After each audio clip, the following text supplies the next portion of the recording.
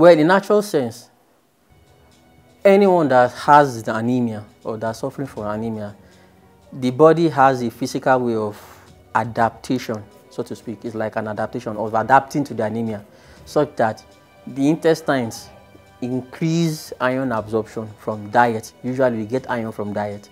Either you eat meat, either you eat fish, either you eat uh, green leafy vegetables, you know, or some individuals that actually drink blood or cook blood, something like that, like the Maasai in Central African Republic or Kenya. Um, routinely, we do not give them iron supplementation. Routinely, we don't. Well, just like any other individual, diet plays an important role in our well-being.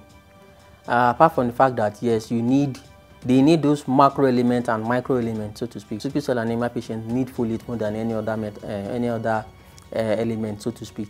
Some amino acids that are the building blocks, so to speak. You understand? So it makes it actually uh, proper nutrition actually, you know, improves their wellness as well too.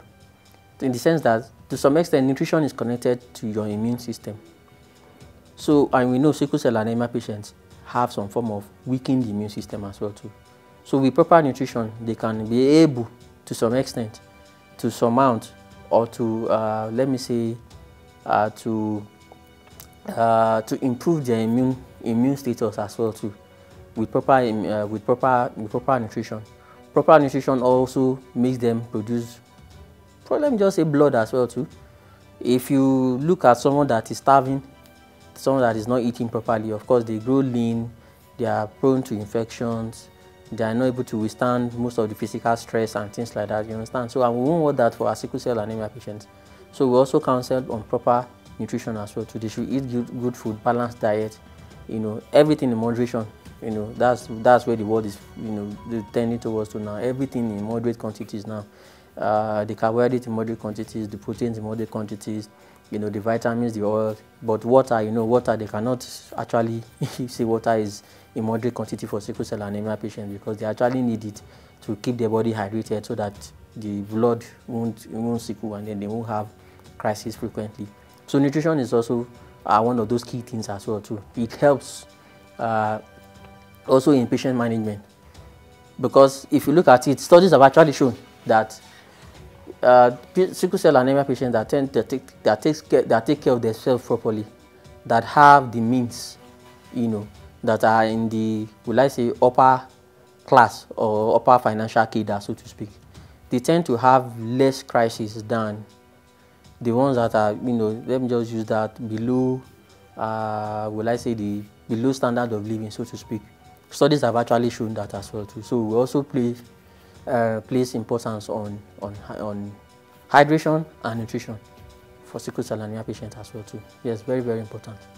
Thalassemias are it's like a sister. Let me just use layman terminology as much as I can now. Thalassemias are like sister. It's like a sister to uh, sickle cell anemia.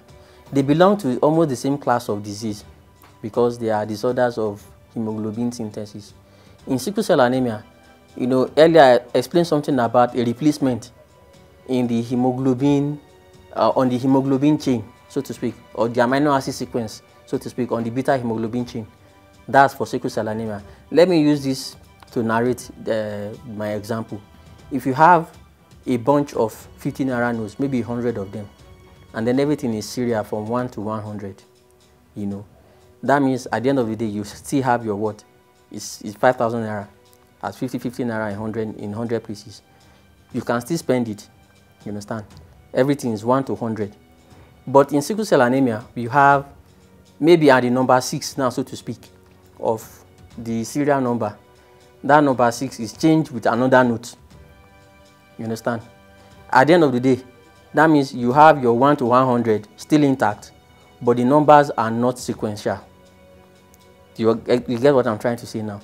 But at the end of the day, you still have your 5,000 naira note, which you can still spend. You know, that is what sickle cell anemia is. When you have one of the serial number, so to speak, is being replaced by another number, another 15 naira note entirely that has a different serial number and it's just locked inside. You understand? That is something like that's how sickle cell. That's like the basic, uh, will I say, uh, disorder that causes sickle cell anemia. Now in thalassemias, you have the 1 to 100. You understand? But when you now get to like 60, from number 60, from 61 to 1 to 100 is missing. You understand? So you no longer have your 5,000 naira note. You only have what? Maybe your 3,000 naira note now.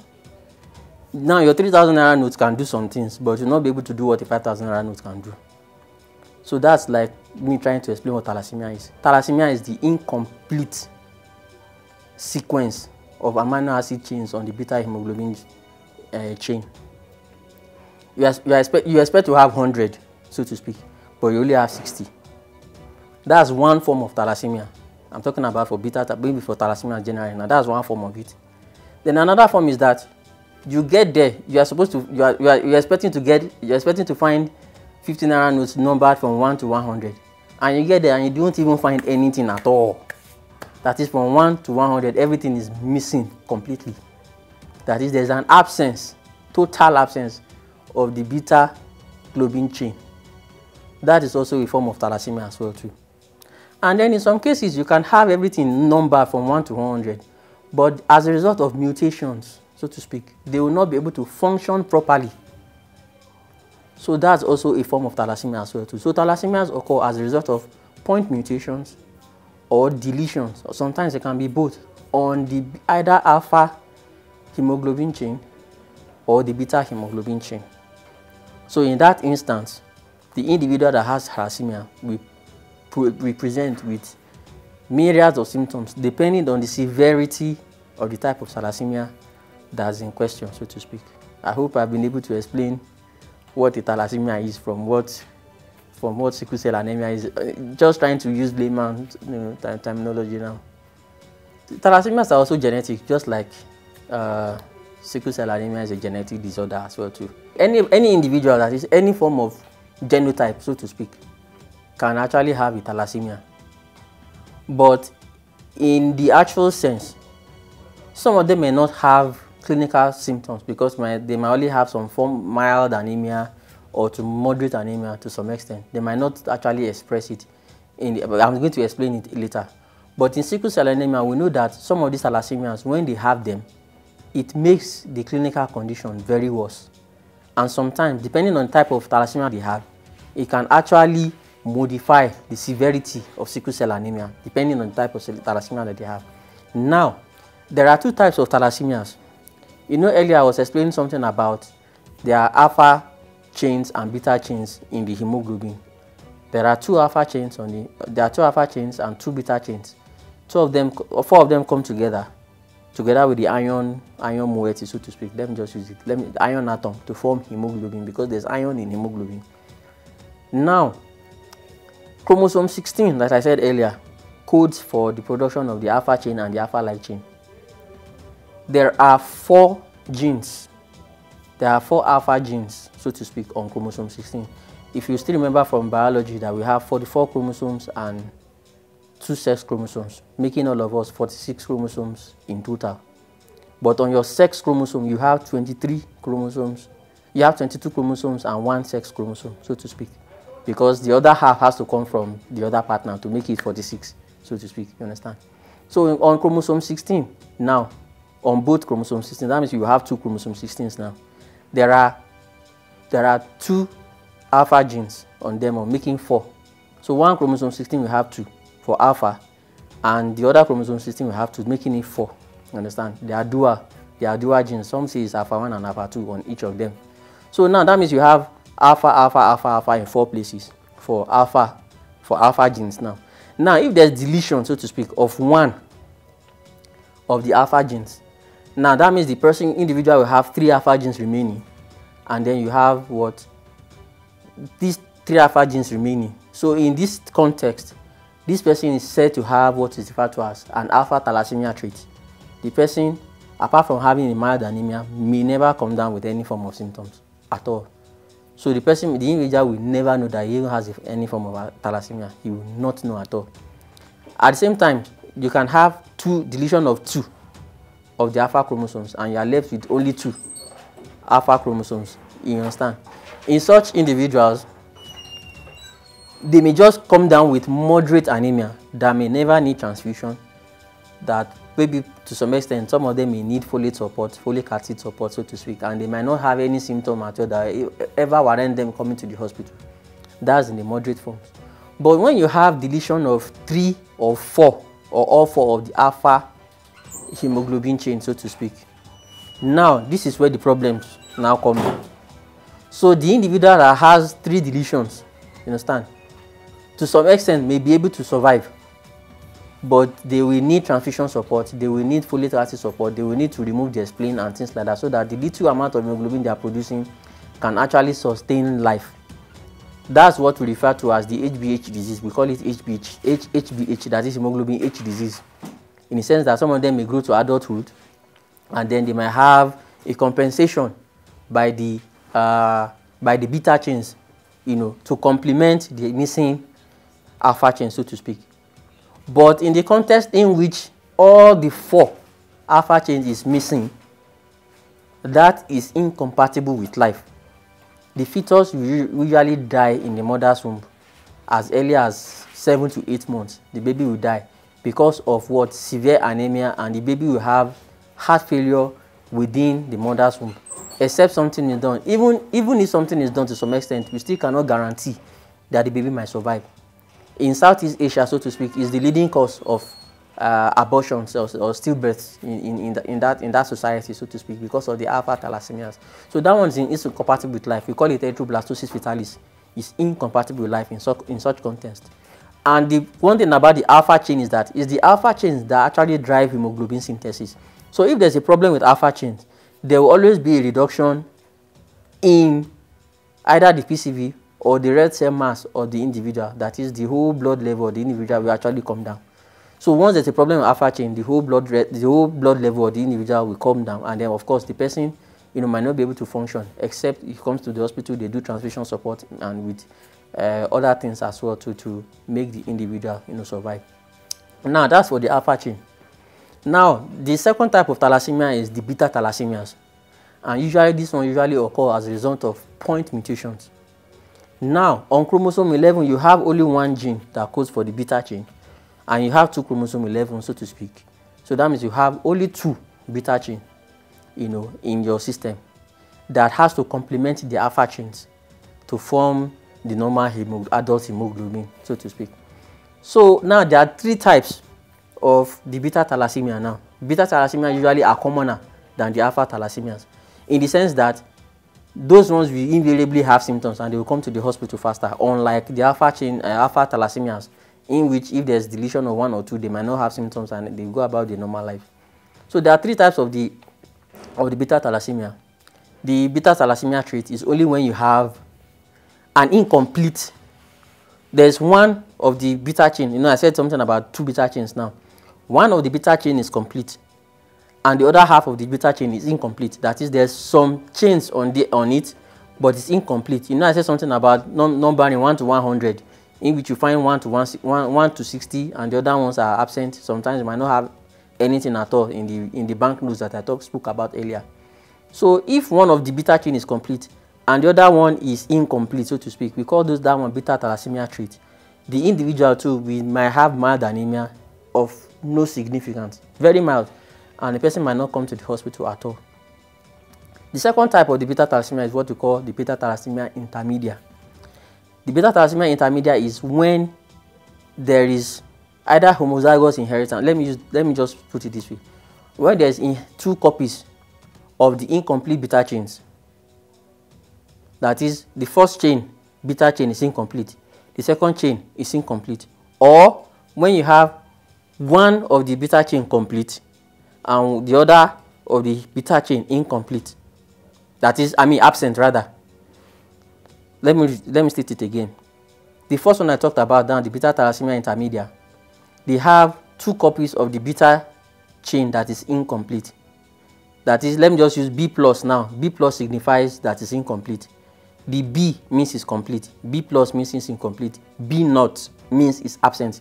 Maybe if I use those terminologies, you might uh, uh, understand me better.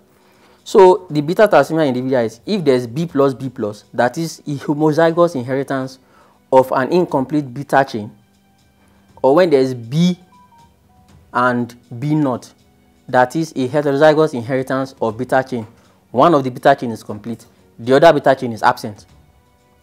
So that is thalassemia, beta thalassemia intermedia.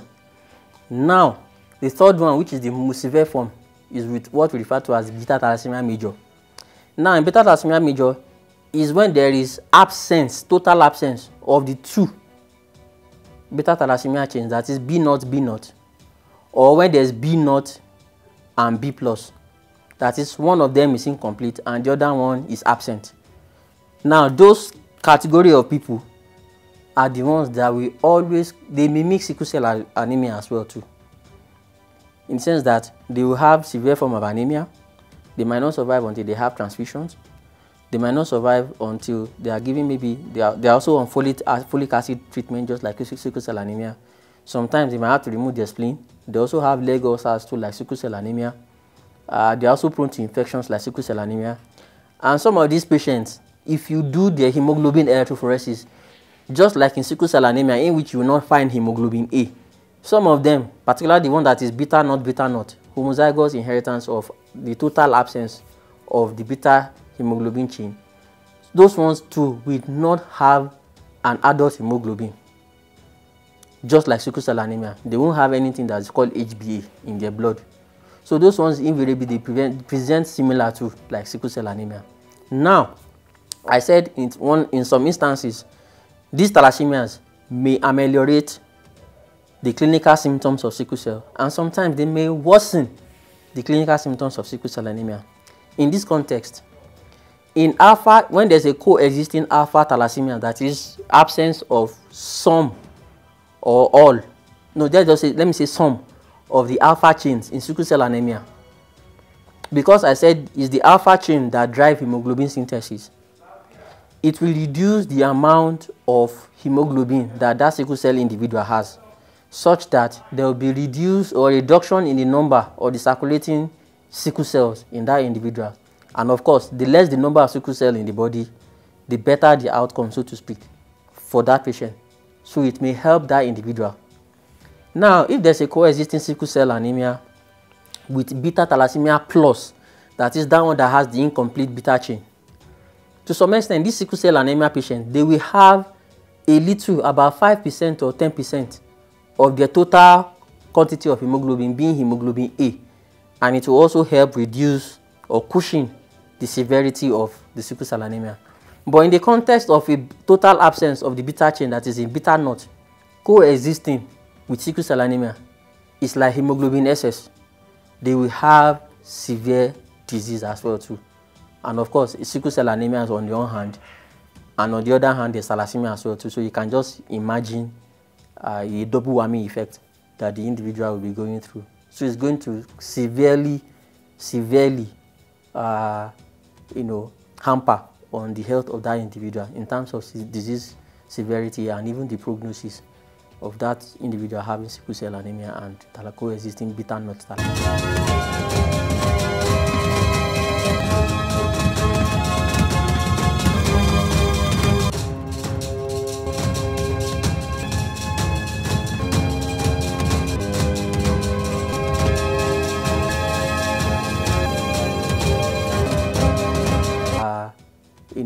Hamper on the hamper on the hamper on the health of that individual in terms of disease severity and even the prognosis of that individual having sickle cell anemia and coexisting beta thalassemia.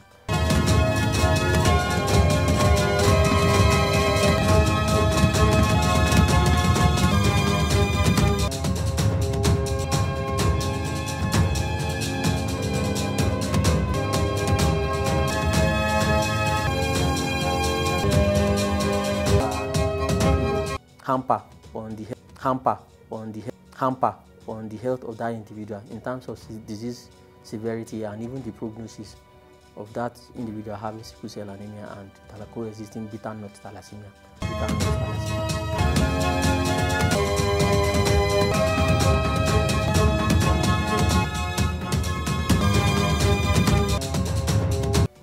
a total absence of beta thalassemia. Now, those individuals are the dangerous individuals that we are referring to in the sense that if they marry an AS person, now they believe that they have AA. or they are AA because they have done the hemoglobin phenotype and they are AA. Now, if they marry someone that is AS, remember, they are not AA, they are A not because the other A is missing. So if you do the Mendelian now, they are A not marrying AS. You understand? So the other A that is supposed, the O now that is supposed to be with the, I mean, sorry, when they in the normal in the normal context, the other A that is missing that's supposed to complement with the S of the other individual to form AS. Now in this context is missing. So they will now have a child that is what S not. So this S not now will is sickle cell anemia. In fact, it will behave like sickle cell anemia. That's what I was talking about that the coexistence of sickle cell anemia with beta thalassemia not that is the total absence of the beta uh, beta uh, globin chain so to speak. So if an individual inherits that absence of hemoglobin with the other one not being a normal hemoglobin E but the hemoglobin S. So whether the person is SO or SS, they will be, behave like uh, similar. They will behave similarly in terms of clinical condition. That is uh, SS now in that in this context. So it's also similar. That person that is also S naught, if you do the electrophoresis strip, you only see one band of S are not sure whether it's only two copies of the S that is there or just one copy of S and the other one is absent. So there's no compensating E, there's no compensating S to make it SS. So the person just has one S. So the person will have sickle cell anemia as well too in that, in that context. So that's why I said anybody that is hemoglobin A should go ahead to quantify apart from now you have identified that you are hemoglobin A, yes, go ahead. It might cost you money but posterity will not judge you for error because you have gone ahead to also quantify the hemoglobin A that you have to know whether it's in the normal range of the adult quantity. An adult quantity should be about 95 to 98% of hemoglobin A. That is if you have two copies of AA now. Now, if you have one copy, it will reduce it to about 50% or even less to maybe 30% to some extent. You understand? So when you now do HPLC and it's telling you that you have HbA quantity now being 30 to 50 percent it's just know that you might have a in that instance and marrying someone that is AS will be very dangerous because there's every tendency or every possibility rather that you might have a child that will come down with sickle cell anemia. So such instances, so people that are AA or A naught, that is A thalassemia now, should also look for a partner that is AA so that they can avert they can avert you know uh, uh, the likelihood of having a child with sickle cell anemia should they marry an individual that has AS. So it's, it's a whole it's a whole complex uh, uh, structure, so to speak. So you can actually appreciate what hematologists do now sometimes, you know, in that context, trying to explain what some of these things are. And these issues that I'm talking about, you know, has actually broken homes. I remember I had a senior colleague, a very senior colleague from Lagos, that recounted his experience in his, in his years of practice as well, too, that he actually had some three cases that it happened like that in that instance. And all they could talk about, that is, the family, the relatives could talk about was that, okay, the wife, uh, there was an issue of infidelity, so to speak. Now, don't let us, you know, choose sides. But of course, usually it goes to the women because they are the one that carry the children and, you know, give birth to children. So that there was an issue of infidelity and the man thought that the child wasn't his until these things were explained to him and they went ahead to quantify to identify and quantify the hemoglobin you know, that he has and they found out that he actually had a coexisting thalassemia with his AA. So in that instance, a diagnosis was made and I think uh, a home was actually saved from being broken just because of these uh, issues.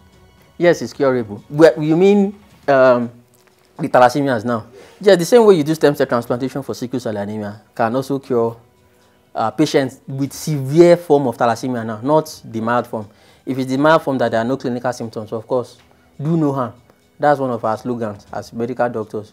So just leave the individual be. The person does not have any symptoms. He's living his normal life, playing football, flying airplane all around, no problems. Just leave him as, as, as he is.